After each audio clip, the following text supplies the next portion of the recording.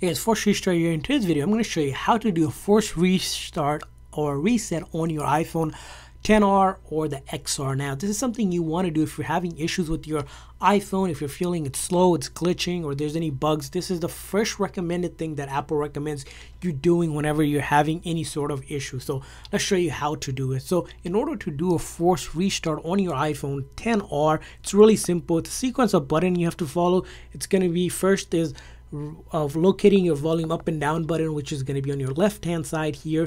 You're going to press the volume up followed by volume down and then after that you'll hold the side button on your right hand side till the screen goes completely black and you see the apple logo reappear. At that point you let go of that button and it will reboot normally. So to show you that in real time i press volume up and then volume down and then i hold the side button just like that it's going to say to slide to power off, but I'm not going to touch that. I'm simply going to keep on holding the button, forcing it to completely shut down. And then once the Apple logo reappears, I'll let go of that button. So as you can see here, I'm waiting and then I see the Apple logo, I let go of that side button.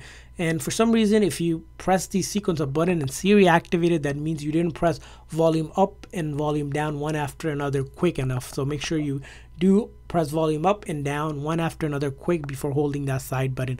Again, this method, as I mentioned, shuts down the phone completely and then reloads the code itself so that if there was any issues with the code itself, it will fix that software issues that you might be having.